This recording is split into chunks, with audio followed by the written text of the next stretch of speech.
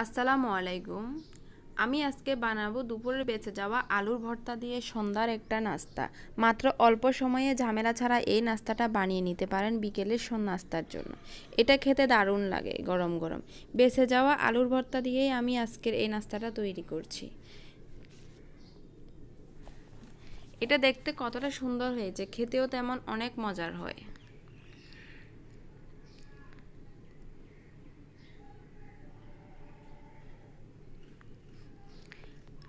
আমি এখন নাস্তাটা বানিয়ে নিচ্ছি। নাস্তাটা বানানোর জন্য আমি একটা মিক্সিং বলের মধ্যে এক কাপ পরিমাণ আটা নিয়ে নিলাম।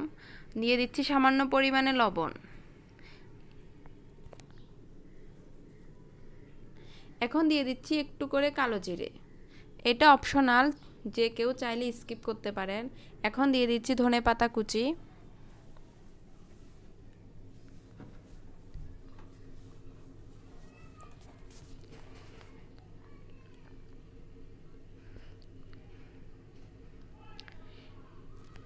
একটু দিয়ে দিচ্ছি রান্নার রেগুলার তেল। এখন আমি অল্প কুসুম কুসুম গরম পানিতে আমি এখন একটা ডো বানিয়ে নেব পরোটার মতো করে।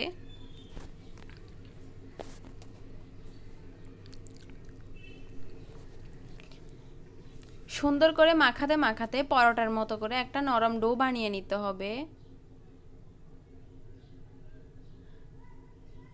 আপনার যতটুকু পানি লাগে ততটুকু দিয়ে ডোটা বানিয়ে নেবেন। আমার একটা সুন্দর মাখানো হয়ে গিয়েছে।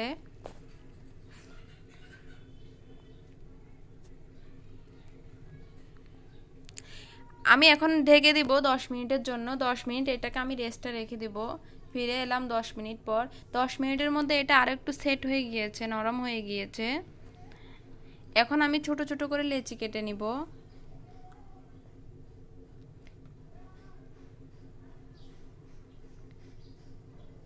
একটু আটা লাগিয়ে এটাকে আমি বেলে নেব রুটির মতো করে।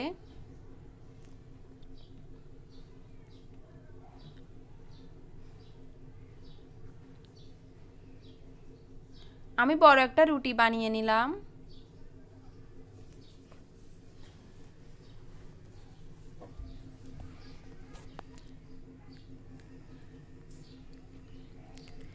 এখন আমি এরকম কুকি কাটার দিয়ে এগুলো একটা শেপ করে কেটে নিব। এটার কোনোই প্রয়োজন নাই। আপনারা চাইলে ছোট ছোট করে বেলেও নিতে পারেন অথবা কোনো কোটার ঢাকনা দিয়েও করে নিতে পারেন। কোটার ঢাকনা দিয়ে করলে একটু সমান সাইজ হয়, দেখতে ভালো লাগে।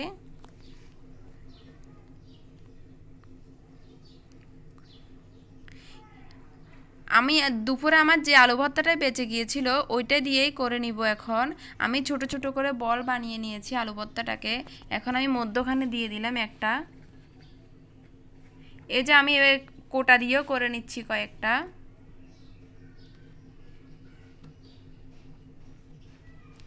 এভাবে করলে সাইজটা সুন্দর হয়।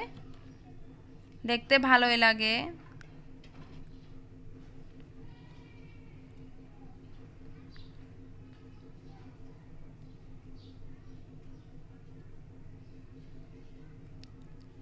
চারপাশে একটু পানি লাগিয়ে নিতে হবে, না হলে এগুলো খুলে যাওয়ার সম্ভাবনা থাকে তেলে দেওয়ার পরে।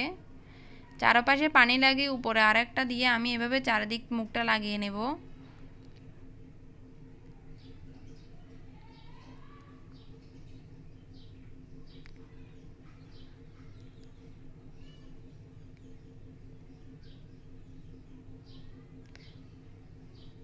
হাত দিয়ে চেপে চেপে সুন্দর করে লাগিয়ে নিতে হবে, না হলে খুলে যাবে এগুলা।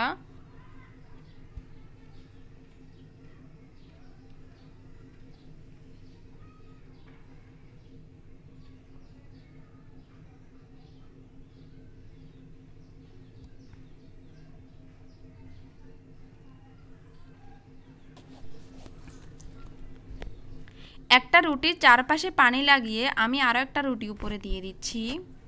দিয়ে চারপাশটা সুন্দর করে লাগিয়ে নিচ্ছি।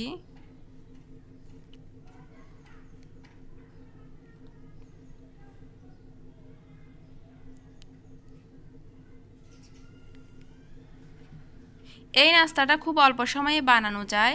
হাত, কোনো ঝামেলা ছাড়াই বানানো যায়। শুধু আটাটা মেখে নিলেই হয়। ভর্তাটা তো দুপুরে থেকে যায়। হাতের কাছে যখন সময় থাকে না, তখন এভাবেই বানিয়ে নিতে পারেন।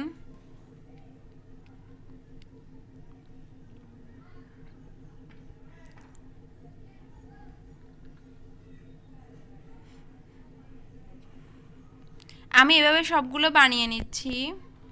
এখন আমি এগুলোকে ভেজে নেব। চুলাতে একটা প্যান বসিয়ে দিলাম। পর্যাপ্ত পরিমাণে তেল গরম হতে দিয়ে দিলাম। তেল গরম হয়ে আসার পর আমি একটা একটা করে ছেড়ে দেব।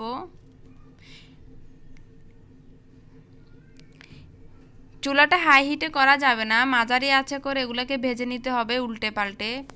এক পিট চার পাঁচ মিনিট করে ভাজতে হবে, তাহলে সুন্দর মুচমুচে হবে, খেতেও দারুণ লাগবে।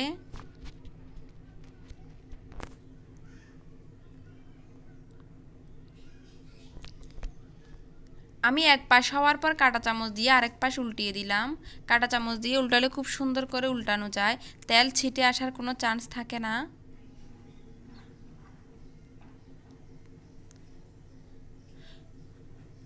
ফ্রাই প্যানে ভাজলে খুব সুন্দর করে চার পাঁচটা একত্রে ভাজা যায়, যেহেতু ফ্রাই প্যানটা খোলামেলা।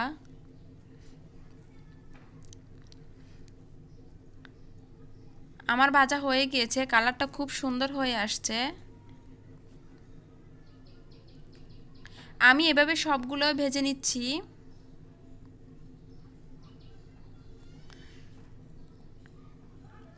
এগুলো পেঁয়াজ, কাঁচামরিচ, সালাদের সাথে খেতে দারুণ লাগে। আমি পরিবেশন করে দেখাচ্ছি।